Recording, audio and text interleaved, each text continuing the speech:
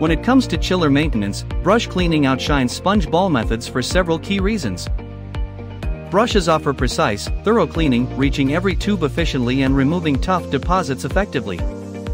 Their adaptability is unmatched, with various sizes and materials available for tailored cleaning needs. And here's the game changer brushes have a lower cost of ownership. With replacements needed only every 3 5 years, they save on long term maintenance expenses whereas the balls need constant replenishment. The balls tend to disappear, some always manage to sneak past the strainer. As they wear out, they stop cleaning effectively and might just hang around in the system.